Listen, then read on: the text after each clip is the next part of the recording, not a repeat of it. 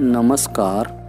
मी संजय रामचंद्र जवंजाळ सहशिक्षक हर्षवर्धन हायस्कूल हिप्परगेतळे उत्तर सोलापूर.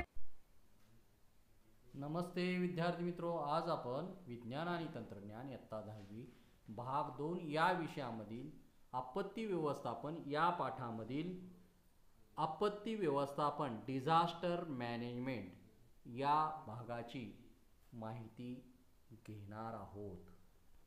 विद्यार्थी मित्र या ठिकाणी आपण आपत्ती व्यवस्थापन अर्थात डिझास्टर मॅनेजमेंट या भागाची या ठिकाणी चर्चा करणार आहोत. तर विद्यार्थी मित्र आपत्ती लहान असो वा मोठी आपत्कालीन असो वा दीर्घकालीन त्यावर मात करणे महत्त्वाचे असते. आणि त्यासाठी आपत्ती व्यवस्थापन प्रभावी आणि परिणामकारक असणे गरजेचे आहे. लक्षात ठेवा विद्यार्थी मित्रो आपत्ती ही आपत्तीच असते. लहान असेल किंवा मोठी असेल त्याच्यावर प्रभावी उपाययोजना करणं आणि त्या उपाययोजनेची परिणामकारक अंमलबजावणी करणं त्यामध्ये लोकसहभाग आणि आपत्ती व्यवस्थापन याचे फार नाते जवळचे आहे. आपत्ती टाळणे आपत्तीला तोंड देण्यासाठी योजना तयार करणे व त्यासाठी क्षमता मिळवणे म्हणजेच आपत्ती व्यवस्थापन होय. तर विद्यार्थी मित्रो आपत्ती व्यवस्थापन म्हणजे काय? लक्षात ठेवा आपत्ती लहान असेल किंवा मोठी असेल किंवा दीर्घकालीन असेल त्यावर मात करणं हे महत्त्वाचं आहे. त्यासाठी आपत्ती व्यवस्थापन प्रभावी व परिणामकारक असणे गरजेचे आहे. त्यासाठी लोकसहभाग आणि आपत्ती व्यवस्थापन यांचे नाते फार जवळचे आहे.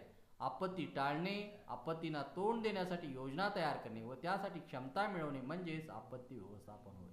तर विद्यार्थी मित्रो आपत्ती टाळणे आपत्तींना तोंड देण्यासाठी प्रभावी उपाययोजना तयार करणं त्यासाठी क्षमता मिळवणं म्हणजेच आपत्ती व्यवस्थापन होय.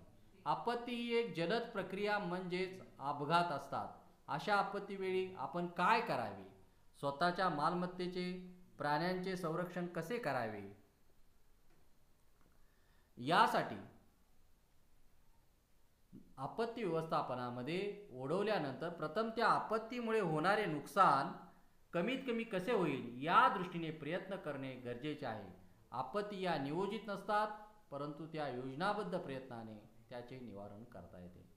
तर विद्यार्थी मित्र बघा आपत्ती ही एक जलद प्रक्रिया आहे. म्हणजे अपघात असतात. अशा वेळी आपण काय करावे? स्वतःच्या मालमत्तेचे प्राण्यांचे संरक्षण कसे करावे?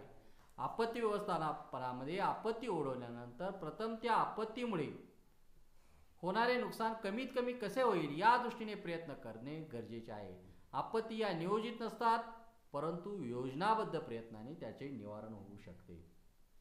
तर विद्यार्थी मित्रो आपत्ती व्यवस्थापनाची या ठिकाणी काय वैशिष्ट्य दिलेली आहेत ते पाहूया. आपत्ती काळात मानवी समाजावर ओढवलेली जीवितहानी दूर करणे व त्यातून लोकांची सुटका करणे. पहिलं काय उद्दिष्ट बघा? आपत्ती काळात समाजावर ओढवलेली जीवितहानी दूर करणं व त्यातून लोकांची सुटका करणं. जीवनावश्यक वस्तूची आपत्तीग्रस्तांना योग्य पद्धतीने पुरवठा करून आपत्तीची तीव्रता व आपत्ती नंतर येणारे दुःख दूर करणे. तर जीवनावश्यक वस्तूचा पुरवठा करणं आणि आपत्तीची तीव्रता आणि आपत्तीनंतर येणारे दुःख निवारण करणं. आपत्तीग्रस्त मानवी जीवनात पुन्हा सुरळीतपणे निर्माण करून त्या प्रदेशातील मानवी जीवन पूर्वस्थितीत आणणे. तर आपत्तीग्रस्त भागातील मानवी जीवन पुन्हा सुरळीतपणे निर्माण करणं पूर्वस्थितीत आणणं आपत्तीग्रस्ताचे पुनर्वसन योग्य पद्धतीनं करणं आपत्तीवरील संरक्षणात्मक उपाय योजून भविष्यकाळात अशा पद्धतीची झळ होऊ नये. व त्याची तीव्रता कमी असेल याची काळजी घेणं. तर आपत्तीकालीन कालीन व्यवस्थापन म्हणजे शास्त्रीय काटेकोर निरीक्षणाने माहितीच्या प्रतकरणाने आपत्तींना समोर जाण्याची क्षमता मिळवणे व त्यात वेळोवेळी वाढ करणे.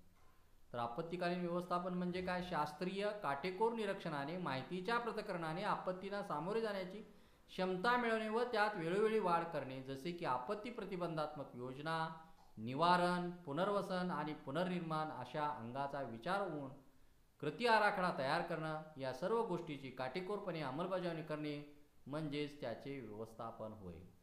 तर विद्यार्थी मित्रो बघा आपत्ती व्यवस्थापन म्हणजे काय? तर शास्त्रीय काटेकोर निरीक्षणाने माहितीच्या प्रतकरणाने माहितीला आपत्तीला सामोरे जाण्याची क्षमता मिळवणं आणि त्यात वेळोवेळी वाढ करणं. जसे की प्रतिबंधात्मक योजना निवारण पुनर्वसन पुनर्निर्माण अशा अंगाचा विचार करून कृती आराखडा तयार करणं या सर्व गोष्टीची काटेकोर अंमलबजावणी करणे म्हणजेच आपत्ती व्यवस्थापन होय. तर बघा विद्यार्थी मित्र प्री डिझास्टर मॅनेजमेंट म्हणजेच आपत्तीपूर्व व्यवस्थापन आणि आपत्ती पश्चात येणारे व्यवस्थापन पोस्ट डिझास्टर मॅनेजमेंट यामध्ये कोणत्या बाबींचा समावेश होतो? या ठिकाणी आता आपण पाहणार आहोत. तर त्या ठिकाणी आपण आपत्तीपूर्व व्यवस्थापन आपत्ती पश्चात येणारे व्यवस्थापन. तर आपत्तीपूर्व व्यवस्थापनामध्ये यामध्ये कुठल्याही प्रकारच्या आपदेला तोंड देण्यासाठी संपूर्णता तयार होण्यासाठी पूर्वतयारी करणं या गोष्टीचा अंतर्भूत या ठिकाणी आहे. आपत्तीग्रस्त किंवा आपत्ती प्रवृत्त प्रवण भूभागाची ओळख करणं ज्या ठिकाणी वारंवार उदाहरणार्थ दुष्काळ होतात वादळे निर्माण होतात भूकंप होतात अशा भूभागाची ओळख करून घेणं. प्रवर्तन प्रवृत्त भागाची ओळख करून घेणं. त्याचबरोबर प्रिडेक्टिव्ह इंटेन्सिव्ह मॅपद्वारे आपत्तीची तीव्रता आणि हजार्ड्स मॅपद्वारे आपत्तीची संभावनीय ठिकाणाची माहिती करून घेणं. तर मॅपद्वारे आपत्तीच्या संभाव्य ठिकाणची कुठल्या ठिकाणी आपत्ती निर्माण होते त्या ठिकाणची संभाव्य माहिती करून घेणं. आपत्ती व्यवस्थापनासाठी विशिष्ट पद्धतीचं तेथील लोकांना प्रशिक्षण देणे. घेणे किंवा देणे. तर आपत्ती व्यवस्थापनासाठी विशिष्ट पद्धतीचं प्रशिक्षण घेतलं पाहिजे. सर्वसामान्य माणसामध्ये आपत्ती व्यवस्थापन निवारण याची जाणीव करून देणं त्यासाठी सर्वस्तरीय प्रशिक्षण प्रसार व्यवस्था आणि माहिती उपलब्ध करून देणं आणि ती इतरांना माहिती देणं. तर आपत्तीपूर्व व्यवस्थापनामध्ये कोणकोणत्या बाबीचा समावेश होतो? विद्यार्थी मित्र बघा. आपत्तीप्रवण भागाची माहिती करणं. त्याचबरोबर त्याची तीव्रता किती आहे? किती प्रकारची तीव्रता येते? हे इंटेन्सिव्ह मॅपद्वारे प्रिडेक्टिव्ह इंटेन्सिव्ह मॅपद्वारे त्याची माहिती करून घेणं आपत्ती व्यवस्थापनासाठी विशिष्ट असं प्रशिक्षण देणं आणि ते सर्वसामान्य लोकांना त्याची या प्रशिक्षणाची जाणीव करून देणं सर्वस्तरीय प्रशिक्षण उपलब्ध करून देणं अशा प्रकारची प्री डिझास्टर मॅनेजमेंट म्हणजेच आपत्तीपूर्व व्यवस्थापनामध्ये या गोष्टीचा समावेश होतो. यानंतर विद्यार्थी मित्र आता आपत्ती पश्चात. म्हणजेच पोस्ट डिझास्टर मॅनेजमेंट. आपत्तीनंतर आपत्तीग्रस्तांना प्राथमिक स्वरूपातील सर्व माहिती उपलब्ध मदत करणं प्राथमिक गरजांची पूर्तता करणं. म्हणजे आपत्तीनंतर आपत्तीग्रस्त व्यक्तींना प्राथमिक ज्या गरजा आहेत त्याची पूर्तता करणं वाचलेल्या स्थानिक रहिवाशाद्वारे मदत उभारण्यासाठी प्राधान्य देणं त्याचबरोबर आपत्तीनंतर अजिबात वेळ न गमावता एक नियंत्रण कक्ष स्थापन करणं प्रत्येक प्रकारच्या आपत्तीसाठी वेगवेगळ्या प्रकारच्या नियंत्रण केंद्राची उभारणी करावी लागते. नियंत्रण केंद्रामार्फत येणाऱ्या आपमत्तीचे वर्गीकरण करणं ती गरजू लोकांपर्यंत पोहोचवणं आणि कामाचा सलग व सतत आढावा घेत राहणं आपत्ती निवारणासाठी चोवीस तास कार्यक्रम व कार्यरत राहणं. तर विद्यार्थी मित्र बघा पोस्ट डिझास्टर मॅनेजमेंटमध्ये कोणत्या बाबींचा समावेश होतो? तर प्राथमिक स्वरूपातील सर्व मदत आपत्तीग्रस्तांना करणं त्याचबरोबर वाचलेल्या स्थानिक रहिवाशाबरोबर मदत उभारण्यासाठी त्यांना प्राधान्य देणं. आपत्तीनंतर अजिबात वेळ न घालवता आपत्ती नियंत्रण कक्ष स्थापन करून करून वेगवेगळ्या मत्तीचं वर्गीकरण त्या केंद्रामार्फत करणं आणि गरजू लोकांपर्यंत ते पोहोचवणं आणि त्या कामाचा सतत आढावा घेणं. आपत्ती निवारणासाठी चोवीस तास कार्यक्रम कार्यरत राहणं. तर अशा प्रकारे विद्यार्थी मित्र आपत्ती व्यवस्थापनामध्ये या सर्व बाबीचा समावेश होतो. तर विद्यार्थी मित्र पुन्हा एकदा बघा आपत्ती व्यवस्थापन म्हणजेच काय? तर आपत्तीपूर्व व्यवस्था म्हणजेच आपत्कालीन व्यवस्थापन म्हणजेच काय बघा? आपत्कालीन व्यवस्थापन करताना शास्त्रीय काटेकोर निरीक्षण व उपलब्ध माहितीचे प्रथकरण केले जाते व आपत्तींना तोंड देण्याची क्षमता निर्माण केली जाते. त्यात वेळोवेळी वाढ केली जाते. त्याचबरोबर प्रतिबंधात्मक निवारण व पुनर्वसन पुनर्निर्माण या बाबीचा विचार करून कृती आराखडा तयार केला जातो. आपत्ती व्यवस्थापनाचे दोन भाग पडतात. आपत्ती व्यवस्थापन आणि अपघातानंतर म्हणजेच आपत्तीपूर्व व्यवस्थापन आणि आपत्तीनंतरचे व्यवस्थापन.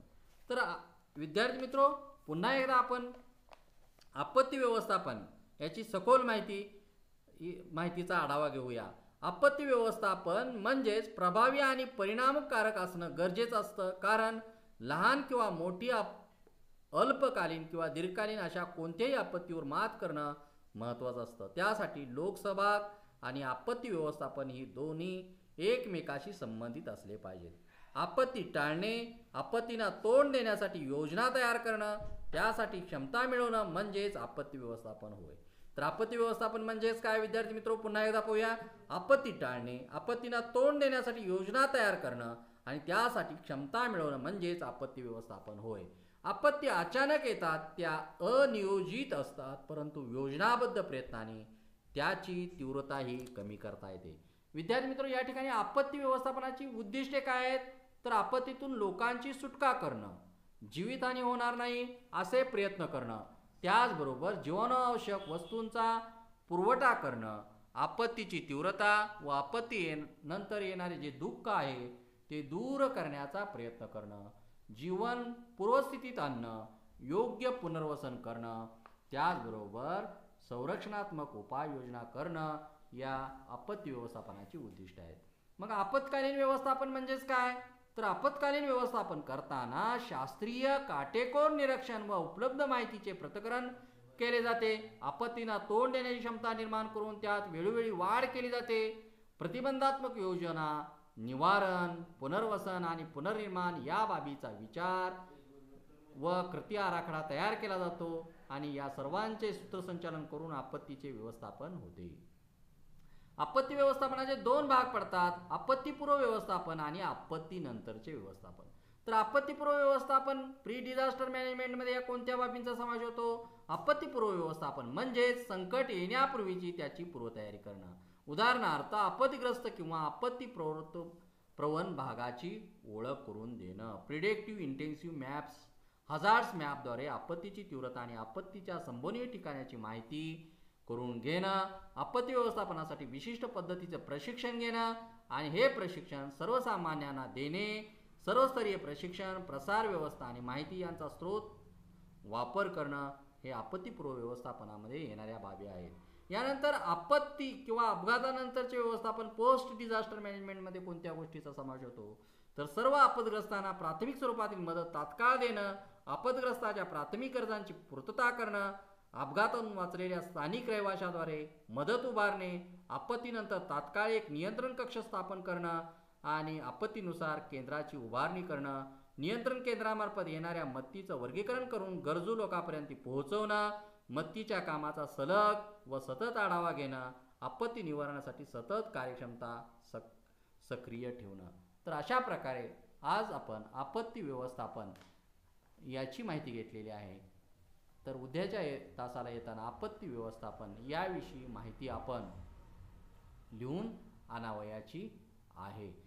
त्याचबरोबर आपत्तीपूर्व व्यवस्थापन आणि आपत्ती पश्चात येणाऱ्या व्यवस्थापनामध्ये कोणकोणत्या बाबीचा समावेश होतो याचीही माहिती लिहून आणायची आहे. म्हणजेच आपत्ती व्यवस्थापन म्हणजेच काय याची सविस्तर माहिती आपण लिहून आणावयाची आहे.